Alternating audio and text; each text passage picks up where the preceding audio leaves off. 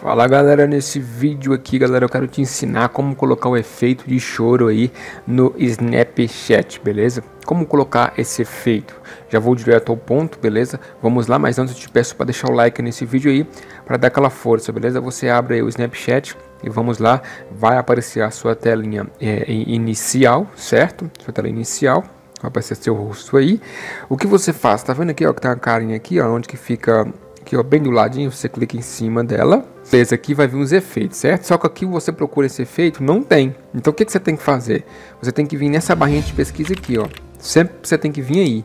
Vem nela e você digita esse nome aqui, ó. Esse aqui, ó. Tá vendo? É esse aqui, ó. Digita apenas a letra C. Aí, ó. Quer ver, ó? Já leu, digita apenas a letra C, já vai vir ele aí, ó. Tá vendo? Esse aqui embaixo aqui, ó. Tá vendo?